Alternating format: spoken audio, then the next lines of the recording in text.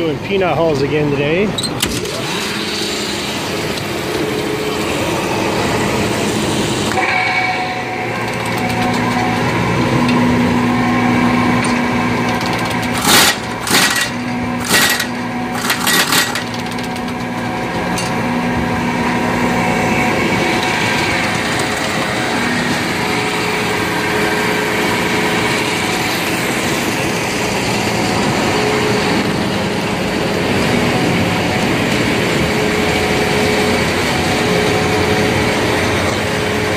Victor's up top in, uh, in the suit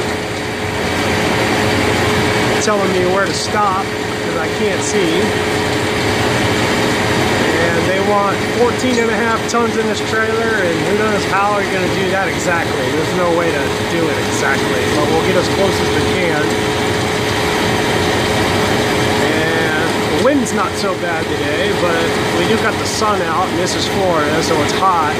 And Victor in that suit, you know he's hot as hell.